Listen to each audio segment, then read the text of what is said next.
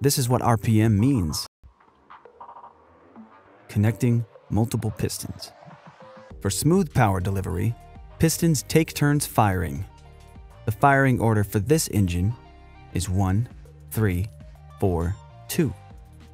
Camshafts with specially shaped cams push spring-loaded valves open in turn. Cam gears and a timing belt or chain links everything to the crankshaft, and it all spins together. The crankshaft translates piston power out of the engine. It has counterweights to balance against the pistons for perfectly smooth revolutions.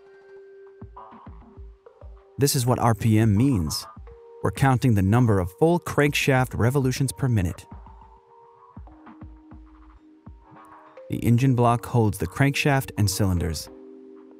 And the cylinder head holds valves, ports, cams, etc.